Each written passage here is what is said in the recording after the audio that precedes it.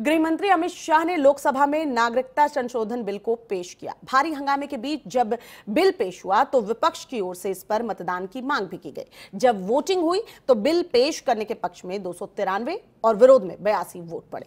ये रिपोर्ट देखिए। जब देश का आज़ादी मिला, तब धर्म के आधार पर विभाजन अगर कांग्रेस पार्टी न करती तो अभी की ज़रूरत न पड़ती। सड़क से शुरू हुआ सिटीजन अमेंडमेंट बिल का संग्राम संसद तक पहुँच चुका है। जोरदार बहस के साथ गृह मंत्री अमित शाह ने बिल को संसद में पेश किया। बिल के पहलुओं को भी समझाया। साथ ही विपक्ष को ये भी समझाया कि आज इस बिल की ज़रूरत क्यों पड़ी।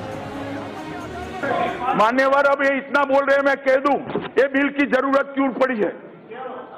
जब देश का आज़ादी मिला तब धर्म के आधार पर विभाजन अगर कांग्रेस पार्टी न करती तो बिल की ज़रूरत न पड़ती।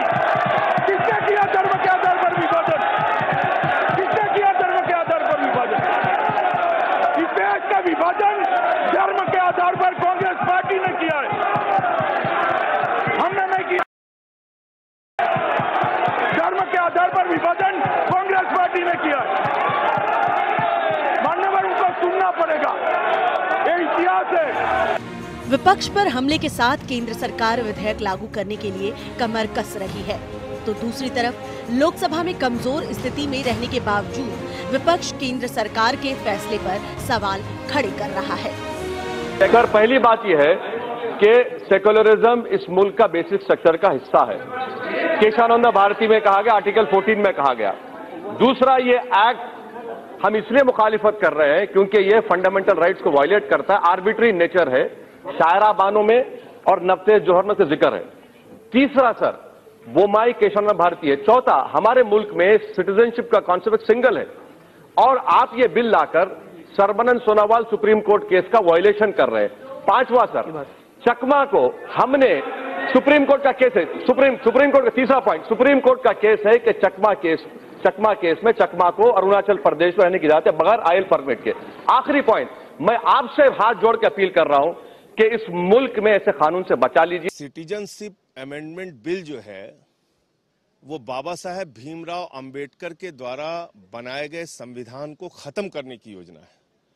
सिटीजनशिप अमेंडमेंट बिल इस देश के लोकतंत्र को खत्म करने की योजना है और इस देश की पहचान को मिटाने की योजना है।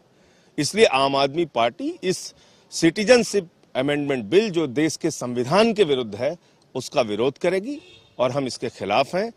आज क्या हालत पैदा हो गई है देश में? अभी हम नहीं बोले सीएबी के खिलाफ है समाजवादी पार्टी और हर कीमत पे समाजवादी पार्टी इसका विरोध करेगी। विपक्ष बिल के बहाने सत्ताधारी पार्टी पर हमलावर है तो बीजेपी इस बिल के फ़ायदे गिना रही है। जबकि दूसरी तरफ़ असम में बिल के खिलाफ ज़बरदस्त आवाज़ें उठ रही हैं। लोग सड़क पर हैं और बिल के खिलाफ मोर्चाबंदी कर रहे हैं। ऐसे में ये जानना भी ज़रूरी हो जाता है कि सिटीजन अमेंडमेंट बिल से बदलाव क्या क्या होगा। इस बिल के ज़रिए नागरिकता देने से जुड़े नियमों में बदलाव किया जाएगा। बिल के मदद से 1955 के नागरिकता अधिनियम के प्रावधानों को बदला गया है। बिल पास होने से बांग्लादेश, पाकिस्तान और अफ़गानिस्तान से आए हिंदुओं को भारत की नागरिकता मिल सकेगी। बिल में संशोधन से सिख, बौद्ध, जैन, पारसी और ईसाइयों को भी भारतीय नागरिकता मिलने का रास्ता साफ़ हो जाएगा। इसके अलावा बिना वैध दस्तावेजों के भारत की नागरिकता मिलने में आसानी होगी। पहले भारत की नागरिकता के लिए 11 साल देश में रहना ज़रूरी था।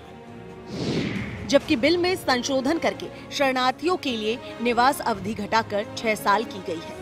सांसदों वाली बीजेपी के लिए लोकसभा से इस बिल को निकालना कोई मुश्किल का काम नहीं था। लेकिन राज्यसभा में अभी भी बीजेपी के लिए अग्नि परीक्षा है, क्योंकि विपक्ष के साथ साथ सरकार के साथियों का रुख भी बदला हुआ है। अकाली दल, जेडीयू और हाल ही में पाला बदलने वाली शिवसेना ने अपने पत्ते अभी तक नहीं खोले हैं। दूसरी तरफ़ बिल के विरोध में असम में लोग आवाज़ बुलंद कर रहे हैं। असम के 18 संगठनों ने पूरे राज्य को बंद रखने की तैयारी कर ली है। और बीजेपी शासित इस सूबे में पार्टी भी इसके कई प्रावधानों से इत्तेफाक नहीं रखती। अब देखना बड़ा दिलचस्प होगा कि नागरिकता को लेकर शुरू हुआ घमासान कहाँ जाकर खत्म होता है। Bureau report R nine TV.